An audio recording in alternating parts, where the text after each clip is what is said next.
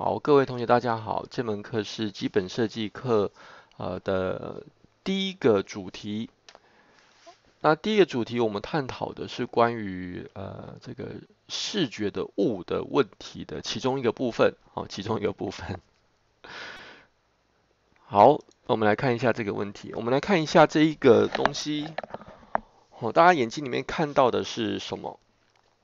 那我相信绝大多数人都会回答说，我看到的是一个立方体。好，所以问题来了，就是说为什么我们看到的是一个呃立方体？比如说，嗯，关于这个立方体，曾经有一个心理研究是，呃，呃，心理学家们找到了一位病患，这位病患呢是从出生就是失明的人。然后他在五十几岁的时候，突然间恢复了视力，所以他们就呃对这样的人做了一个呃研究，就给他看了这个方块，然后他们发现，对于这个人来说，他所看到的这一个图形呢，他无法把它理解成是一个方块的样子，对他来说就是一个完全平面的线条。这这是一件很有趣的事情，就是说我们的视觉经验，我们认为我们看到的东西，实际上都是经过我们大脑处理过，呃，因由于我们的经验、个人所经历过的事情而呃影响过的一个结果。哎，不好意思，那关于这样的现象，我们把它称之为我们的 thinking eyes，就是我们的眼睛其实不是只是在在接收讯息而已，而是实际上因为大脑在处理的关系，那实际我们觉得我们所看到的、看见这件事情，实际上已经有很多的呃后处理在里面了，已经都被处理过了，这些资讯都不是最原本的。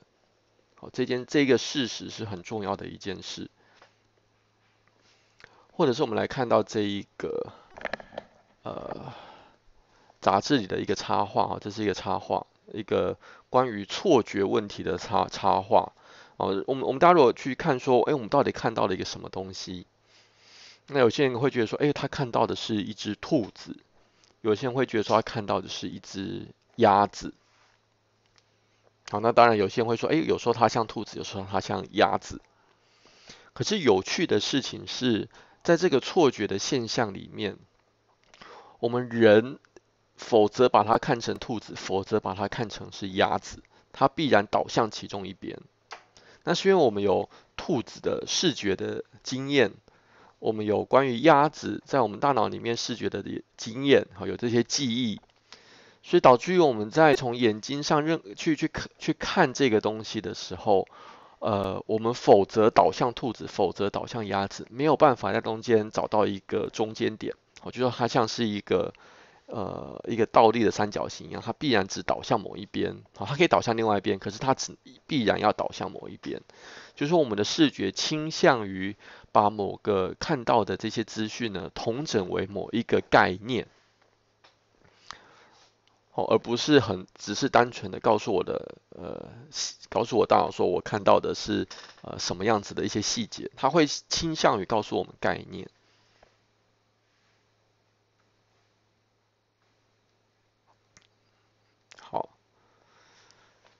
一个例子就是这样子，比如说我们可以看到下面这边，这是一条线吗？这是一条线吗？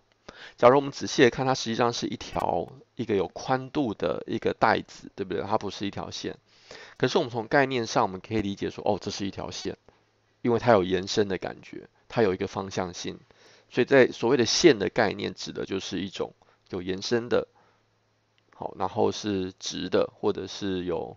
呃。有方向性的这样的一个东西，我们就认为它是一个线。一样，这个地方我们看到的一个一个点，哦，和实际上当然它是一个圆。可为什么我们可以把它理解成是一个点？那是因为它跟呃，它在我们的脑袋里面所感受到的就是某个指向特定位置的概念，好像固定在某个地方的某个特定的位置，某个坐标或者是某个呃定点。好，这就是一个。点的概念，那可是实际上我们看看上面这个黑色跟白色的这个色块里面，真正的点，我们可以说应该是在两个黑色的色块相交的这一个地方，这才是真正点的概念呢，对不对？在我们概念上可以理解这个是真正的点，可是，在视觉上我们反而没办法告诉大家说，所谓真正的点到这个地方最里面的地方到底是什么样子，没有办法说明点是什么样子。可是我们知道这里有一个点的概念，同样一条线，假如说黑色跟白色中间的这一个边界，我们可以呃从概念上理解这里有一条线，那可是从视觉上这条线到底是什么？你把它再怎么样放大，它都是黑色跟白色之间的一个交界而已，你很难去描述说这个线的呃样子是什么样子。哦，所以说同样都是线，哦，这个交界所产生的线，这个。嗯，从视觉上可以很明确看得到它的样子的这种线，都我们都会把它理解成是一个线的概念。哦，当然它们这是不同的本质，所以我在这里，我们在这里会把它做一些呃名词上的区分，比如主动的线，这是我们用主动的方式画出来的；还有概念上的被动的线，这个这个线的产生是因为有两个色块，呃，中间有了这个边界，所以才而产生出来的线。啊，或者是主动的点跟被动的点，好这样子的概念。那各位同学在做造型的时候，要特别留意有这样子的概念存在。什么时候会产生一个线的概念，并不只只有在当你画了一条线的时候才有那一条线。好，所谓的点也是一样，点并不是只有你画了一个点，画了一个圆才叫做一个点。实际上，点它存在的可能在你在做造型的过程当中，你就呃很可能无意识底下就在某个地方。呃，产生了一个点的概念。好，所以大概 我们可以这样说，在刚刚的这个这个平面上面呢，所谓的点跟线都可以有两个方向，一种是属于比较概念上的，一种是属于比较经验上的。好，经验上的就是，比如说当我用用画一条线的时候，然后那一个东西我们会从经验上呃认为它是一个线。那一个概念上的线，就是比如说两块色块交接在一起的时候，我们可以在概念上把它呃看到是一个线的感觉，这也是一个视觉会思考的视觉的概念。好，所以我们来看看在三 D 里面也是一样的问题，呃，同样这里都是呃六边体，可是它们却是不同的东西。哦，比如说箱子、盒子、篮子。哦，这里还有一个魔术方块，这些都是呃各式各样不同的物件，可是它们却全部都是呃立方体。我们从概念上可以把它们放成一类，我们看得出它们之间的共通性。好，同样呃月亮，哦月亮它可以是这个新月、半月或者或者是满月，嗯，可是我们实际上呃我们知道月亮它都是一颗球。好。那这一个呃圆的概念呢，比如说一个盘子，它虽然是一个扁的，好，或者是你看我们右边这是一颗西瓜，所以它是一颗球体，哦，实际上它是一个有点不规则的球体，可是，在概念上，或是我们此在这里从视觉上来看，我们都都会很自然的把它理解成或归类成一个圆的概念。好，那当然，这个圆的概念里面有很多细节上的不同，比如说盘子，这个盘子是是一个呃白色的，然后旁边有很多彩色的圆点的盘子。右边这一颗西瓜呢是一个球，然后它表面有一点粗糙不呃有点凹凸不平，然后这个球呢本身也不是一个正球体，好，然后它上面是绿色，有一些花纹。好，为什么我们可以把这些东西呃把它呃，好像归类成同一类，哦，那或者是我们会自动把它认为说，比如说一个不是很圆的圆当成是一个圆，那这个是我也是属于我们思维的双眼的这这样子的一个一个现象，就是有物体有所谓的或人的概念里面有所谓的完形 Gestalt，好，就是上面大家看到这个字，有所谓的完形的一种现象，就是当一个形态它不是很完美。可是它趋近于某一个完美的形态的时候，我们就会认为它们是同一类。换句话说，在我们脑袋里面有某些形态是属于那种呃认知上很单纯、很简单、很容易把别的东西拿进来归类的某些特定的形，比如说圆就是一种，三角形是一种。好，那这些东西，呃，比如说我今天一个圆，假如说它不是那么的圆，哦，或者它缺了一个口，我都还是可以把它认为是一个圆的这样的一个概念。好，这就成为一个完形的呃完形。好，所以这个完形是一个在概念上的现象。好，那在经验上，比如说我们看到一个西瓜，看到一个盘子，我们看到它有一些不同的特征。好，比如这个西瓜是有绿色的斑纹等等，那这些是属于这个物的这个属性或者是它的特性。好，所以呃，我们再来看，比如这一张图，我们看到的是一棵树的啊，很这种我们我们说，比如说很乖离的，哦，然后或者是很张狂的这种树枝的分叉的呃的样态。好，然后呃它。呃，非常的这个，呃，很多的细节，哈，很多的分支。好，我们再看，这是从卫星上面看河流的卫星图，我们也会发现，哎，好像它们之间有某种类似性，好像这种分支的，哦，这种岔开来的感觉是很相似的，或者是闪电。哦，它们明明实际上都是不同的物质，好或者不同的现象，然后呃，它们的个性也都各自不一样。我们在体验上也是体验到不一样的东西，可是，在形态上，我们会觉得它们好像都是属于同样的一种形态。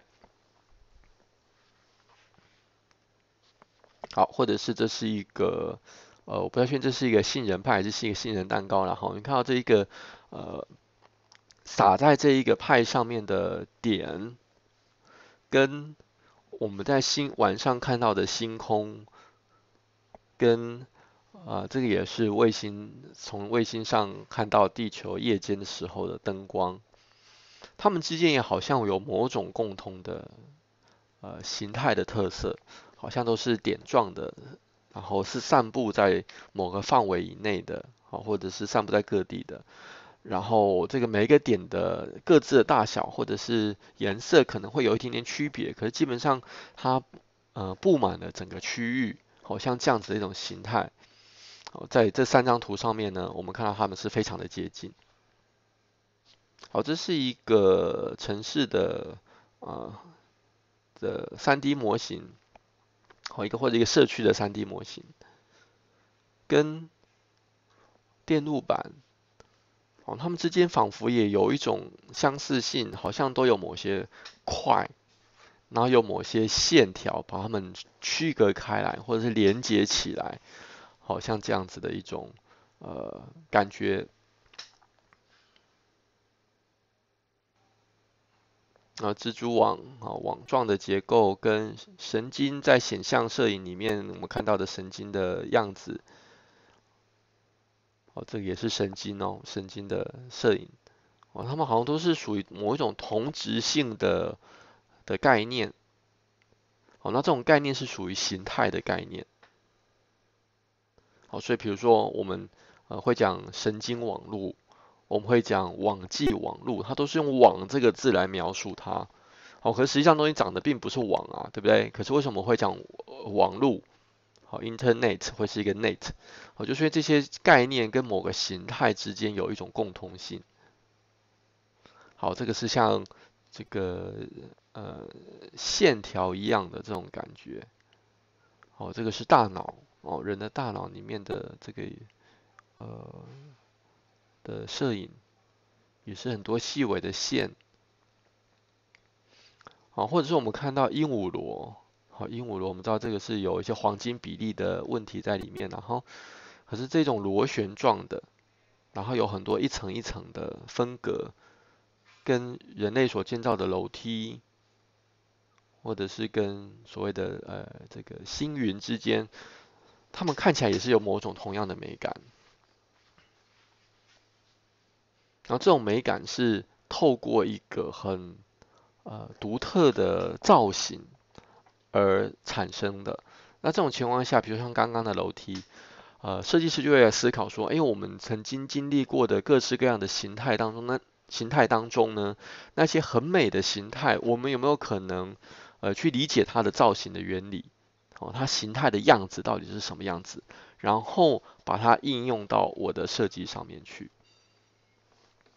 或者去，或者是说，透过观察这一些对象，去理解说，哎，原来一个美的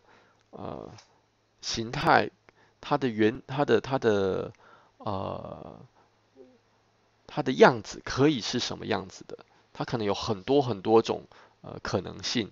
哦。然后透过观察各式各样不同的东西，设计师可以从观察中获得很多的灵灵感。好，这个是呃都市，我们可以看到呃房子好一一一块一块的，然后。有一些比较高，后面这一排都很高，然后有些比较低，然后中间好像有一些这个一格一格的，所以你会知道这一个每个房子都是一条一条的柱状体。好，同样我们来看大自然界里，哈，这个是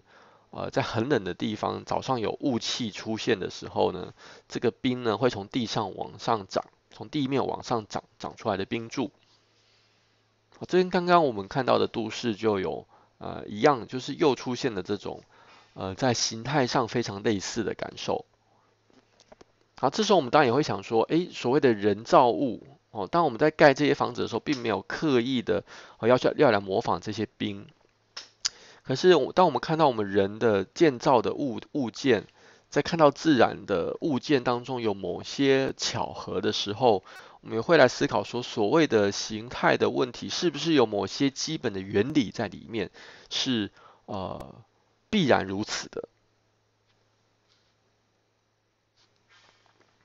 好，那这个是鸟停在电线上的呃摄影，这个是台湾的这个养殖业里面，你会看到牡蛎壳串在牡蛎田上面，一样都是线，哦，很多条线哈。然后上面挂着一些单元，或者是蜘蛛丝上面挂了水珠，好，那这些形态也产生了某些哎非常相似的趣味，哦，都是诶这个造型，比如说我这个一个呃分布出来的这种线条或者网或者是平行线上面挂满了大小不同的单元的时候，都可以产生出好像某种。呃，很有趣的一种效果。哦，那这是属于，这就是一种造型的原理。哦，就是我们从观察不同的东西当中，我们可能可以获得的启发。这是高速公路的摄影，这个是台湾的铁窗。哦，你会看到有些呃某些呃几何的运用，哦，可以是呃类似的。那我之所以会他们类似，是因为呃制作者他们会感受到这样子的安排是一种协调的，一种和谐的。好，所以先到这边，我们看到很多就是呃产生某种形态的可能性。哦，自然界我们看到很多形态，我们看到人造物上面有很多各式各样的形态。那形态。呃，我们之所以要去研究这些形态，研究这些形的原理，是因为它们有一些看似呃有有必然性，有一些是呃可以有某些的趣味的效果，那有一些是呃产生某种和谐、某些律动，哦等等。那所以对于设计师来说，当我们在呃建制或者是设计一样东西的时候，当然我们会希望说这个东西是好用的，希望。呃，使用者是呃用起来很有功能性，或者是这个东西呃它应用了某些很先进的科技等等。可是不管怎么样，这个东西最终都还是一个东西。那既然是一个东西，它就有一个形态。那我们怎么样赋予这个东西一个正确的形态、合理的形态，或者是美的形态？这个是设计师必须要能够做得到的最基本的事情。好，我们来看一下，呃，原始的人类怎么怎么看待形态的问题。好，这是呃拉斯科洞窟的壁壁画，这个洞洞洞 洞窟是人类发现目前最古老的这个史前文明。好，那在这个拉斯科洞窟的壁画上面，我们看到很多呃动物的画像。好，那如果我们仔细去看它，其实我们会觉得，呃，当时的人类在处理、在画绘制动物形态的，呃的时候呢，已经是相技巧相当的高超。这个技术其实是已经非常厉害，它可以用一条线，哦，跟两种颜色就能够把这个马画的这么样的栩栩如生。哦，其实已经是非常的，呃，技术非常的高明了哈。这是鹿，哦，鹿也是一样，你可以看到它，它对鹿的这个角的形态，好像感受到了某些趣味，或者感受到某些神秘感，所以它的壁壁画，呃，墙壁上呢画下很多这个鹿的头，然后去画它的各式各样的角。哦，你看它的每一个头的画法都差不多哈，都是这样子，然后这个不知道是耳朵还是什么，都一直在这里。哦，可是他画的每一只鹿的脚的形态各自不同，好像人类在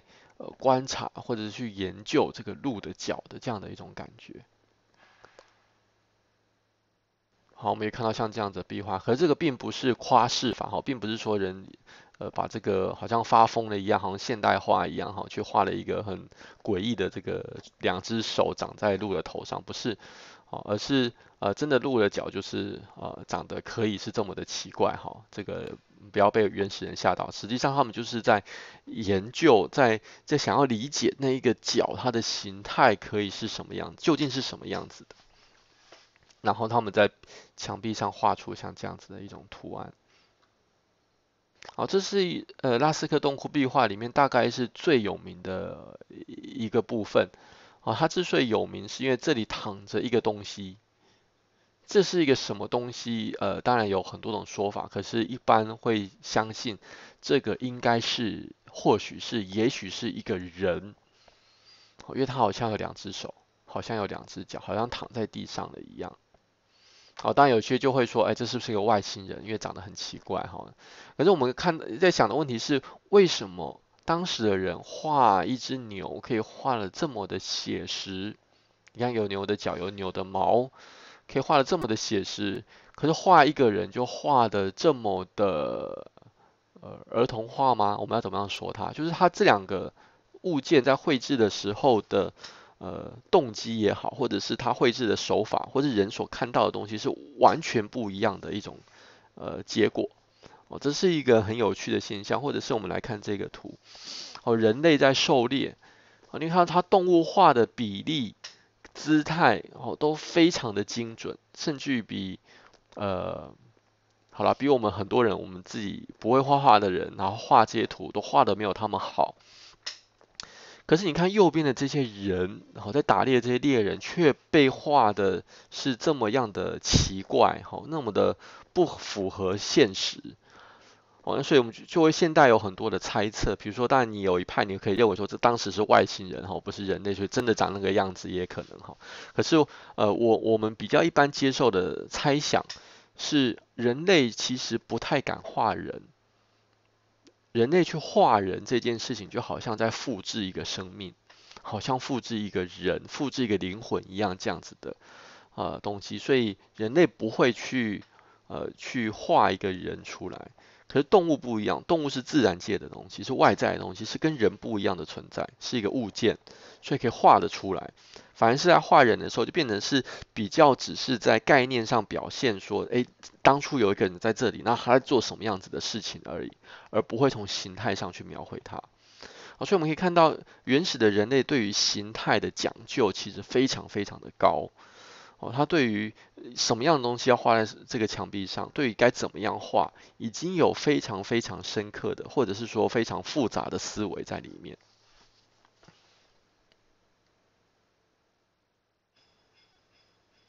好，这个是一样的。比如说，我们可以这样理解：我们在这个图上画看到的这些人的画像，它是属于一种呃姿态的样貌。哦，它是比较强，属于概念上的。比如我知道这个人他正在射射箭。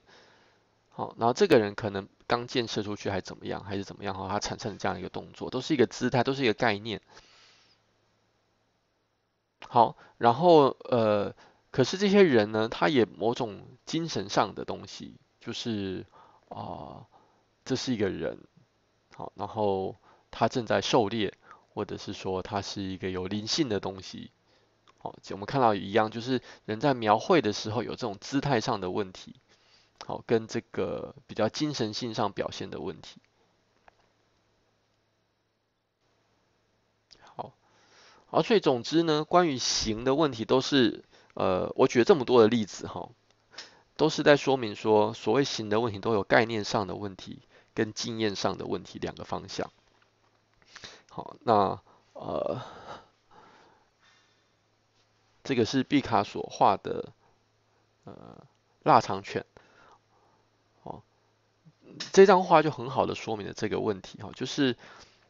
我们可以看到毕卡索非常的厉害的地方就在于说这一条线，他用一条线画出一条一只腊肠犬，啊，他既从呃在这个概念上把这只狗画了出来，也在经验上把这只狗呃。的细节做了很好的描述，甚至于是在精神上，一只腊肠犬的趣味，可以可以比拟到这个画家他用一条线画出来的手法，哦，这样子之间也是可呃可对比的。好，比如说这只狗的尾巴，我们甚至于可以看到，透过这条线，可以感觉出来这只狗当时的情况很可能是很开心的翘着鼻子，然后摇着尾巴的这种感觉，它都把它表现出来。好，蒙德里安这个是呃抽象派的画家之一，呃，这是他画的一个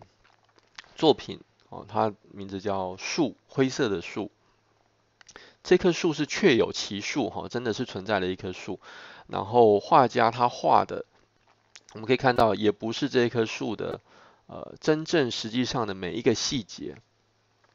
而是这一棵树在画家眼中，他所感受到的形态到底是一个什么样子的一个形态？哦，然后这个形态为什么这棵树为什么会对这个画家产生某种造型上的共鸣也好，或者是感动也好？哦，是因为这些特殊的形态而来。那画家企图描绘下来的，企图去把它捕捉下来的，就是这个形态。好，同样的一棵树，哈。这个是蒙德里安呃在另外一个时间点画的，哦，你可以看到同样的一棵树的这一种呃线条的形态，呃用另外一种手法表现在这块布上，呃这个画布上。好，所以呃我们常常讲所谓的抽象画家，好像他们画的东西都是很太很抽象的哈，不现实或怎么样。可实际上我们可以理解是。只要在画布上出现的东西，它必然是有形态的，是一个有形态的结果，是一个形态的结果。哦，那画家在画这些东西的时候，实际上也只是在把他脑袋里面所感受到的东西，或者说他所理解到的某个东西，他想要透过呃画来把它表现出来，把这个他所感受到的对象的形态，把它具体的表现在这个。呃，画布上，所以抽象画并不是说说就是完全的，一定都是想象，它经常也可以是有具体的对象的。哦，然后只是画家表现的时候呢，是他所谓的他思维的双眼底下所感受到的东西。好，同样的一棵树到后来变长这个样子，虽然我们已经看不出来这为什么是一棵树，可是可是呃无论如何，对于画家来说，这就是他眼中所看到的那一棵树。好，这是一个很有名的，呃，曾经被那个 Apple 的工程师拿来说明为什么 Apple 的设计是可以极简的那个设计过程的，哦，被拿来胡扯的 一幅画。好，那但这个实际上是毕卡索的版画的作品。嗯，这幅版画是毕卡索送给他侄女的，好像是耶诞节礼物吧。好，然后他在这个上面其实好像是某种。画画的过程一样，那究竟这一个流程里面他做了什么样子的事情？这是确实是值得我们来分析的。好，我们可以看到，基本上画都是一只呃水牛，然后这一张第一张很可能只是一个画家他在很初步的去想要去勾勒出这个水牛的样貌画出来的结果。好，大概有一颗头，然后大概有两只脚，然后大概位身体位置是这个样子的，然后大概有个尾巴，然后背部的线可能差不多是这样子的一个曲线。好了，进一步画家就可能开始去呃去更仔细的把他所看到的呃细节把它表现出来。那比如说看他会看我们会看到呃这个东西呃有某些结构哦，这里可能是一个肌肉，然后有一些块体哦，比如这里背是凹陷下去的，然后这里是凸出来的。那有某些肌肉的纹理，有某些是呃脂肪的纹理，好像是这个样子，开始描绘出一些细节。那在描绘细节的过程当中，就看到了视觉上好像产生某种结构的感觉。好，当然这个结构就开始呃是一个画家从他自己主观的认知当中，然后当然他也知道他画这个东西是主观的，好，一定是他自己理解的结果。哦，所以毕卡索非常诚实的面对这个问题，他就说，在我的眼睛里面，我看到的就是这些东西啊，就好像是这样子，有一个什么样的结构藏在这只水牛的身上，然后让我看到，所以开始捕捉这些结构。那至于外面原本是什么样子的，好，好像就不是那么的重要。好，可是我们也可以看得到，呃，画家一直在这些呃画这些呃水牛的过程当中呢，呃，他去展开某个过程，好像呃一个东西是可以用不同的视角来看它，可以用不同的呃理解上的层次来去看待同样的一只水牛。好，你看越来越。呃，抽象越来越接近呃设计师呃那个画家他自己所想要采取的视角，而不是我们一般人的视角。好，到这里基本上头越来越小，身体越来越大，可是我们看到背部的曲线好像仿佛都在同样的地方哦。然后可是不一样的是，开始这只水牛的性器官越画越明显。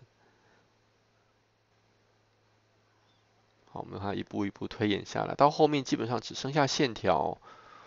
哦，那这个线条也不是外框，也不是这只牛的轮廓，而是画家所感受到的这个牛的形态。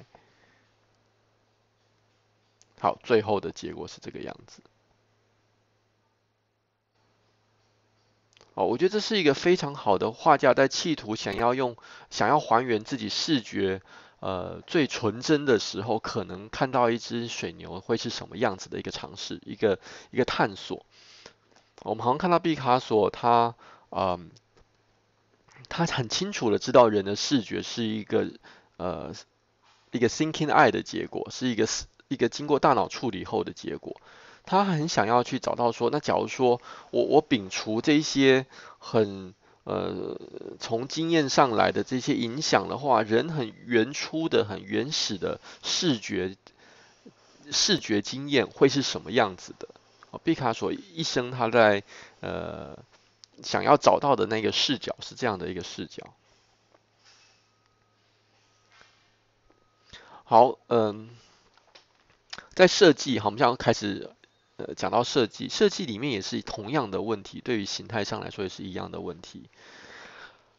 这是 William Morris 他所设计的这个呃壁纸，还有纺织品。好，那我们知道这个美术工艺运动，好，呃，这个当然各位同学现在是大一，可能接触还没那么多。美术工艺运动是工业革命时代呢，设计师呃所提出来的一种主张，就是说。呃，产品应该还是要回归到比较呃人类手工的，或者是呃比较贴近于自然的，而不是那种因为工业量产而产生出来某种大量复制的机械化的哈那一种结果。所以威廉莫瑞斯他所设计的这个壁纸哦，或者是纺织品上面，你可以你可以看到它采用了很多这种大自然的元素。他把这些元素呢，呃，转换成一个造型的结果。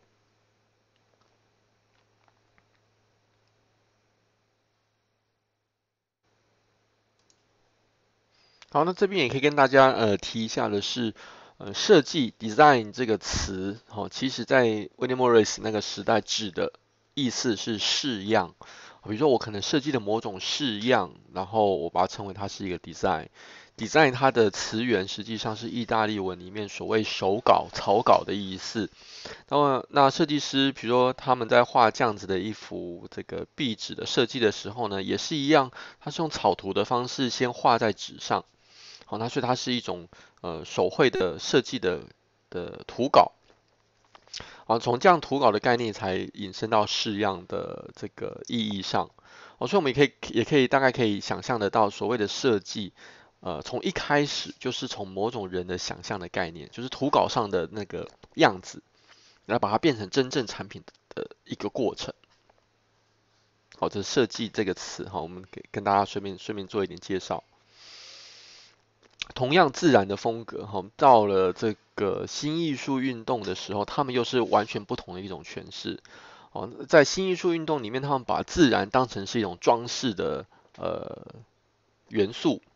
非常的装饰性，非常的强调某种呃新时代的或者是一个新的世代的呃品味，好像这样的一个感觉，这是新艺术运动里面的一个精神。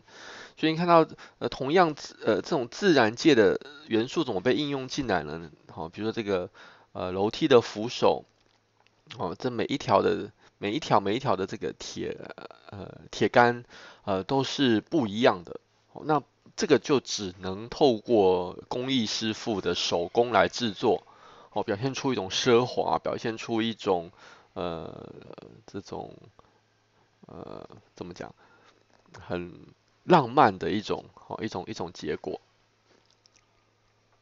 啊，那这种同样都是一种自然素材的运用，跟刚刚好它的理念上不一样，可是你我们可以看得到，都是某种形态，其这种曲线的形态、自然的有机的形态，在产品上面的呃应用。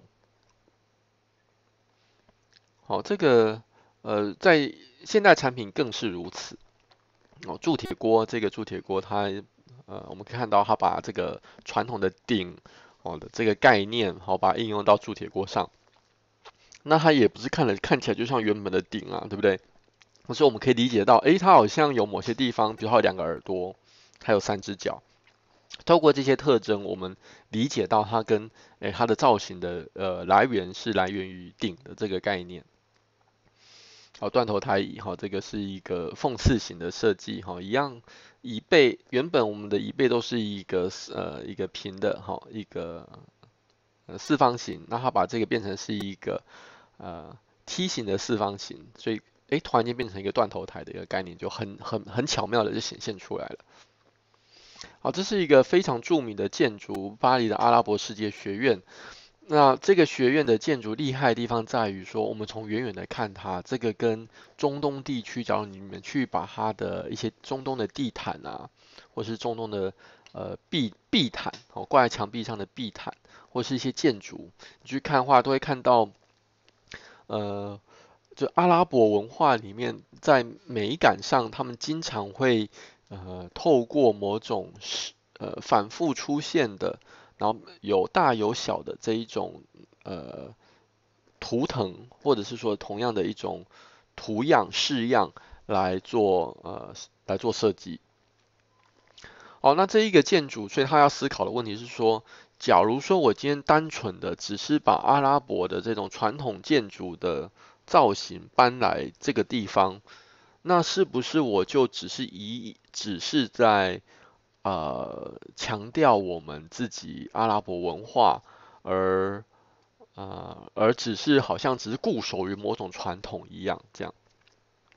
所以这个建筑的设计是很厉害的，是说，呃，他当然希望这东西表现出阿拉伯文化，可是怎么样跟现代，怎么样跟国际，哦，或者说怎么样跟其他人之间能够产生出一种呃理解上的呃。理解层次的一种互相包容，所以它这个现代建筑，呃，它的每一个图腾呢，实际上都是透过玻璃的这个材质来产生的。所以整个建筑，你看它用使用的材质是玻璃跟呃钢钢骨，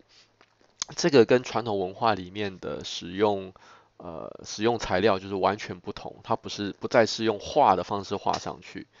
好，那每个图腾也不再像是以前那样是精雕细琢，而是透过玻璃本身的材质，而自然而然的产生出这些精雕细琢的感觉，产生出这些细节的美感。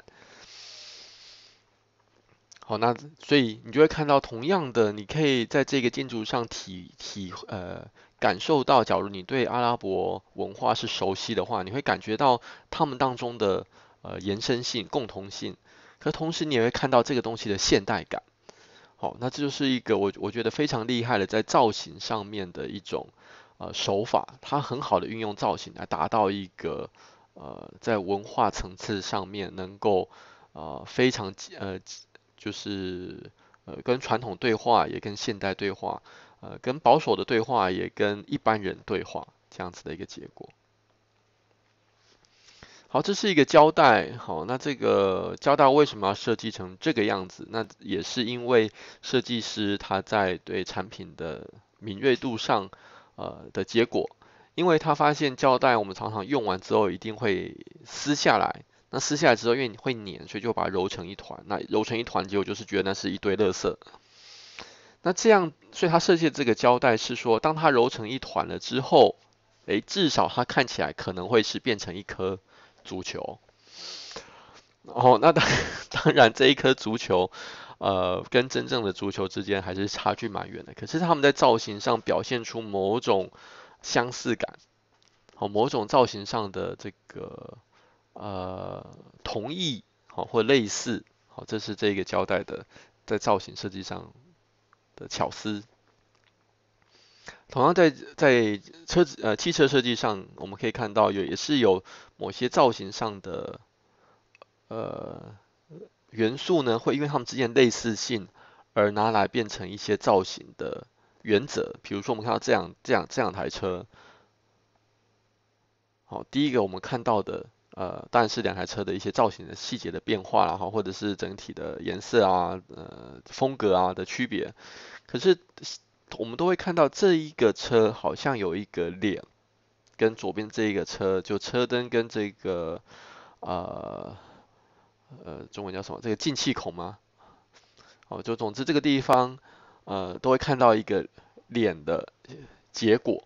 必然的结果。所以汽车上面都会有一个脸的这个概念。只是说这个脸好像是一个比较凶的，还是是比较一个呃和蔼可亲的结果。好，那是在餐具设计上，好，天使跟恶魔的形态转换到这种小的产品设计上，或者是呃这个汤匙，好把汤匙本身的呃元素，好汤匙本身一定会有一个。呃，咬咬东西的这个面嘛，然后必然会有个柄，然后这个面跟这个柄，它当然就是可以是只是一个圆跟一根直线，可是它也可以是什么样子的呢？好，那这个是设计师他在创作这个作品的时候，呃，很深刻的从的形态的这个角度来来重新创作的结果。好，一个玻璃杯。一个透明的材质怎么样可以产生出像这样子的一个效果？一个装水果的碗。好，这一位艺术家，呃，他也是一个设计师，Giger，他是呃瑞士人，然后差不多跟达利同一个时代，然后他这一个人呢，呃。我们先说他是谁好了，他是我们大家所熟知的电影《异形》里面那一只异形、那只怪兽的作者的设计师。那为什么他可以想象出这种呃很让人惊悚的，或者是让人觉得很不寻常的的一个造型？哦，那这是因为他呃从小的一个爱好就是在瑞士的森林里面。玩，然后去收集小猫、小狗、鱼什么的骨头、尸体，他会把这些收集回来之后呢，然后把它重新拼凑啊，重新去组装成呃小孩时候的那个玩具积木的那个作品。我觉得这样子，他在他的经验里面，对于这一些有机的、对于这些腐败的或者是死亡的这些物件的形态，嗯，就在他的他脑袋里大概是就是大概掌握到大概是最好的。所以当他在重新创作，比如说创作一个异形，或是我们现在看到的画面上这个是一个很古老的 电子呃电脑游戏里面的一个角色。好的，这些造型的时候呢，你看它就发能够展现出很大的创作能量。这种对有机的，好，对于造型的这种去玩它，去摸索它，不断的反复咀嚼，来，然后最后到可以运用这种造型来做设计，哦，并不是只有 Giga 这样子做，哦，在工业设计里面，哦，这样子的做法也非常的普通，非常的寻常。哦，这是呃 Mercedes-Benz 它里面的设计师在做的事情，还在研究这个呃有机形体的造型。我们看到这是这是很有机的一个一个形态，然后呃这一个形，它去描绘它，去研究说，哎，这样子的一个形到底是一个什么样子的东西，什么样子的呃造型会让我感觉起来形态是属于同一类的，是属于这样子有机的。然后不断不断的透过草图去做各式各样的尝试，哦，因为看到他就把这个东西变成这个样子，变成这个样子，然后最后变成了一台车。哦，这个就是怎么样从一个形态上，我们去挖掘出它的呃它的有趣味的点，或者说它有价值的点，然后应用到我们的设计上。好，同样这台车，好，这个是前面车窗是朝这里，呃。前车窗是朝这里哈，这是座椅在这里，好，这里基本上已经让我们看不出来这个车的样子了。可是这是一个车子的内装设计，哦，一样，啊，这是椅背啦哈，然后人是面向右边这样。对，所以这就是一个很好的呃，在有机型上面的一个去探索它，然后在在产品造型上能够去使用它的啊，这是一件在工业设计是一件很很很很正常的事情。好，我们看同样呃怎么样，我们想要设呃设计师想要设计设计这个呃电动工具，然后要表现出这个电动工具很有 power 的的意象。那当然，这个电动工具本身的这个机构设计啊，你要好才会有这个 power 嘛。啊，可是同时你的造型也要好啊，要不然人家也无法理解你的这个工具的这种威猛的感觉。好，所以怎么样把这个豹的感觉，把狮子的感觉，哈，整合到这个产品里面。所以我们会看到，比如说狮子可能给人一种尖牙利嘴，哈，或者是肌肉比较绷紧的，所以在这个产品上所使用的线条也是属于这种比较。有曲线的，它不会是直线，一定是曲线。可是曲线是比较有张力的曲线，好，然后有比较快速的转折，像这样子的一种呃造型手法。好，所以我们呃第一个主题的作业来了，好，请大家注意，这是你们的第一个作品的作品呃作业的呃说明。第一个作业是这样子。呃，请你选择一个物件，然后这物件是你认为呃它有很强烈的形态的性格的物件。好，然后这个物件呢，呃，我会建议大家可以用照片，好，因为比较方便。那嗯，有些物件，比如说，假如说我今天要找的是一个动物，你把一个动物抓在你的桌子上画画，其实是很困难的一件事。所以我建议大家可以找的是照片，然后照片可以可以是一张为主。然后你也可以有其他的照片可以来辅助它，哈，就是然后一张我有些细节看不太清楚，你可以有很多张照片没有关系。好，然后请你去呃画草图，用草图的方式，用画图的方式，像我们刚刚所看到的那样，去分析这个物件的呃造型的特色，好，然后去理解它。你透过不断的去画，画很多很多张。来去看说，哎，到底我怎么样画的时候可以得到呃这个物件的呃呃形态？好，你可能在画的时候一开始是把这个物件的全部细节都画下来的。好，因为你要，因为我们第一次去学习它，我们向这个物件学习，所以我们可能会是像是画素描一样，把这个物件呃一比一的，或者尽可能详细的把它的呃形态都把它画下来。画下来之后，你会想要去把它做简化。那简化的过程当中，你可能一步一步的、慢慢的，好，然后把一些，哎，你觉得这个细节不是很重要，你就把它呃省略掉，好，这样一步一步省略，然后最后呃会得到一个简化的结果。好，然后呃，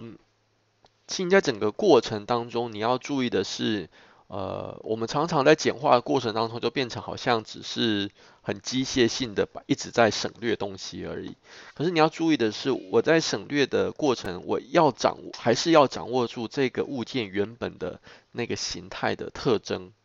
那个特色，我们还是要把它掌握住。好，好，所以你会画很多很多很多的草图。好，那。从这很多的草图当中呢，我们会呃，我你会从当中挑六张，然后这六张代表的呢，是从原本呃最复杂的那一张图到最简单的那个结果之间，好的六个过程，大概是这个样子。我们从最复杂到最简单的六个步骤。好，然后请你把这六张图呢贴在呃。两张 A3 的纸上面，好，那请你用很有美感的方式去把它呈现出来，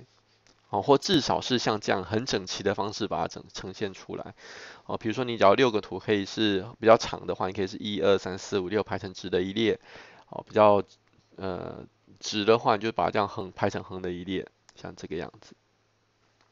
当然，如果如果前一个单元所说的这个格式是给大家一个建议，一个参考。哦，你如果你有找到一个更好的格式，是更能够表现你的作品的，然后欢迎各位同学去使用你想要的格式。好，所以这个是嗯下个礼拜五的时候你要交上来的成果是大概是这个样子。那下个礼拜二我们要看到的就是你所画的这呃你你所呃所所画的这些草图。的这些过程，好，那我会要求各位同学在下礼拜二的时候，呃，带三十张画的草图过来，我们来做讨论。好，那因为我相信大家在画这个图的时候，最呃困难的地方可能会不太一样哈。然后呃，在简化的时候，有些人可能会把某些呃，可能你会简化完之后发现，哎，好像那个原本的个性消失了，它的特色不见了。那我会帮助你把这东西重新抓抓回来。那这个东西只有透过分组讨论才能够做得到。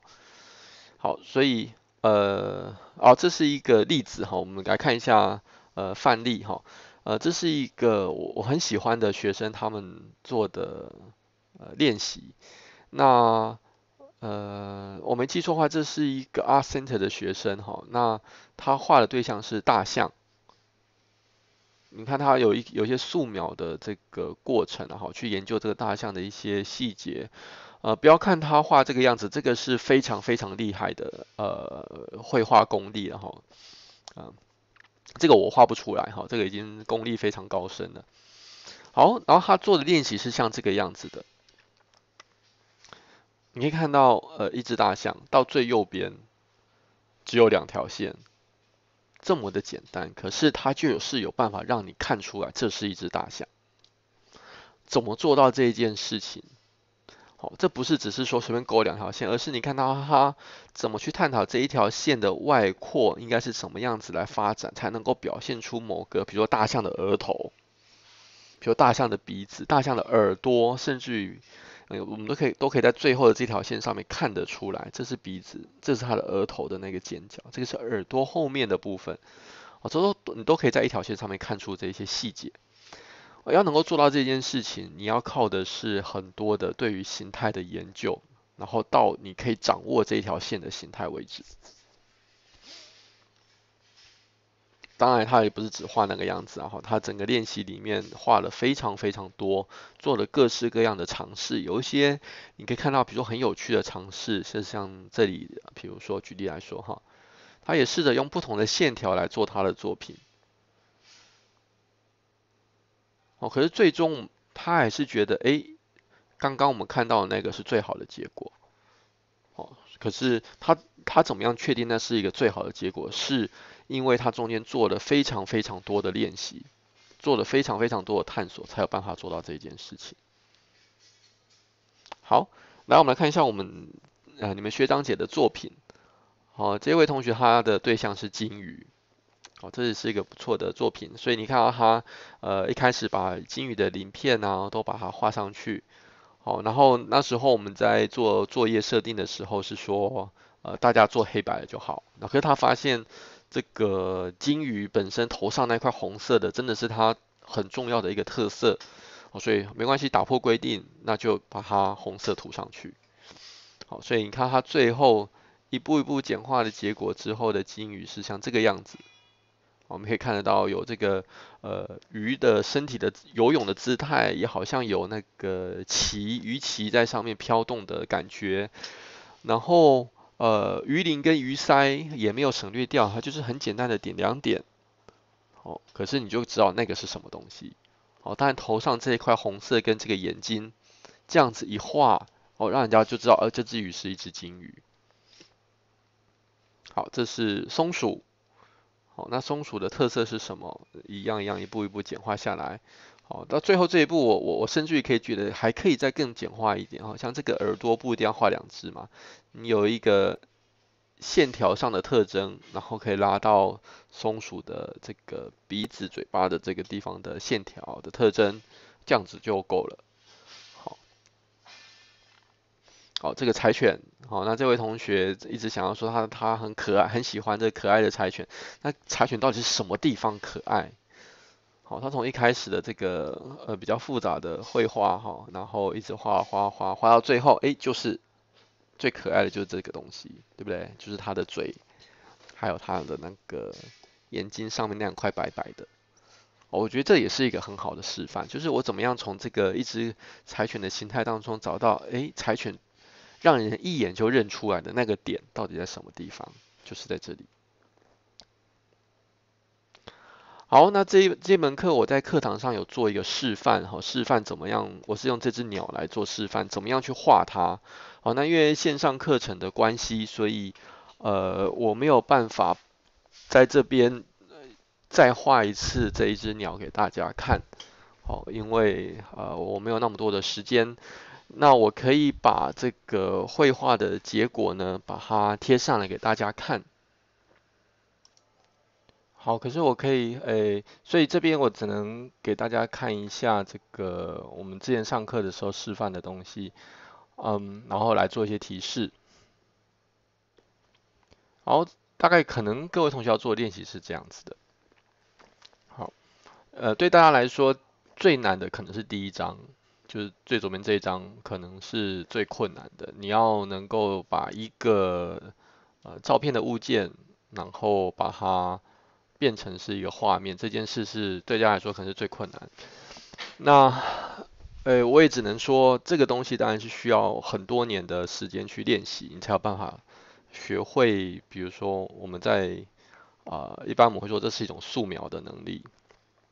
好，那。呃，可是没有关系，就是我们，我们，我们设计师不是要当画家，我们设计师的目的是，呃，要能够掌握一个东西它的形态的这一件事，这个才是我们最主要的目的。所以你东西画的不好没有关系，比如说像我们刚刚看到那一只柴犬很可爱，可是其实它的第一张画，它也没有办法说，哎，这个狗的毛到底要怎么画啊，什么什么也没有办法。可是他就是同学们就是很努力的去想办法说。我到底看到的，比如说线条是什么样子，他就省他就舍弃了想要尝试去把呃毛茸茸的感觉画下的那个呃这件事，而是就很单纯的看，哎，这个线条是什么，他就把它勾勒出来。好，没有关系，都很好。就是我我希望看到的是大家去尝试去掌握这一个对象的形态，这件事是最重要的。哦，至于你的素描能力怎么样，那个是呃，我当然很期待设计师你可以很好的有素描的的能力，可是呃，不是说一定要。好，那呃，你看我画这样，当然不是画的很好，可是这也是有好几年的练习在里面的结果哈。那所以呃，大家尽可能去尝试，努力就对了，然后多画，你画的多，你就会掌握的能力就会好，这件事是一定的。我倒宁可你呃画的呃没有很很好，可是呃你能够快速的画很多很多很多，这件事非常重要。哦，你要习惯快速的画图。好，然后你如果真的真的真的第一张，你无论如何你都你已经画了已经呃十十几二十张都还是画不出第一张出来了。呃，还有一个方法就是你直接把纸贴到你的荧幕上面去画去描。哦，当然你画的时候要小心点，不要把你的荧幕给割坏了哈。可是你可以把你的纸贴到你的荧幕上面去描。好，那基本上这个就会简单很多。我允许大家这样做，可是请大家这个是在。呃，你万不得已，你真的退无可退的时候才做这样子的事情，好，否则的话，呃，我上课的时候这张画也是抬头看着投影机的荧幕画的，哦，也是就大家尽可能努力去用眼睛去看，用眼睛去理解，然后来把它画出来。然后画的时候可能可以提醒大家几个重点，好，画画的重点就是，呃，